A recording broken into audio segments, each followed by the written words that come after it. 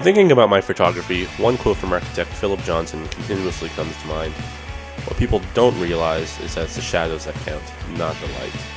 This was said in reference to a portrait done of him by Nigel Parry, one of my influences.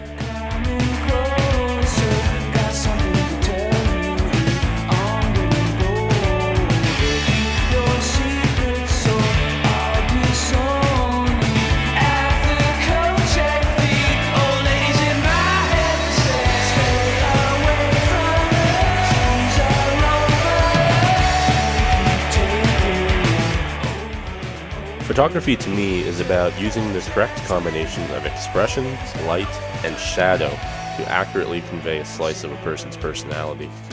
My name is Ryan Wilson. I am a photographer.